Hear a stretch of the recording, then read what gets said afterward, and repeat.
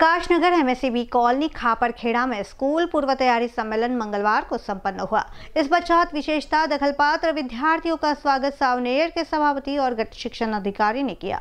उसी प्रकार उपस्थित पालकों को मार्गदर्शन किया है। इस दरमियान सम्मेलन में पंचायत समिति सावनेर के सभापति अरुणा शिंदे प्रमुख मार्गदर्शन शिक्षा अधिकारी विजय भास्करे, प्रमुख अतिथि के रूप में स्कूल व्यवस्थापन शिक्षक तज्ञ, ज्येष्ठ पत्रकार दिलीप गजभिये, अखिल भारतीय ग्रामीण पत्रकार संघ के जिला अध्यक्ष अरुण महाजन, खापरखेड़ा पत्रकार संघ के अध्यक्ष शैलेश ढोरे की उपस्थिति थी। 2022-23 सत्र के लिए वर्ग पहले में प्रवेश लेने वाले विद्यार्थियों का सम्मेलन लिया गया। सम्मेलन में कुल सात प्रकार के विविध स्टॉल लगाए गए थे। हर स्टॉल में विद्यार्थियों के साहित्य की मांडनी कर उनकी क्षमताओं की पूर्व तैयारी तैयारी की जाँच की गई थी। इस संदर्भ में मार्गदर्शन भी किया गया।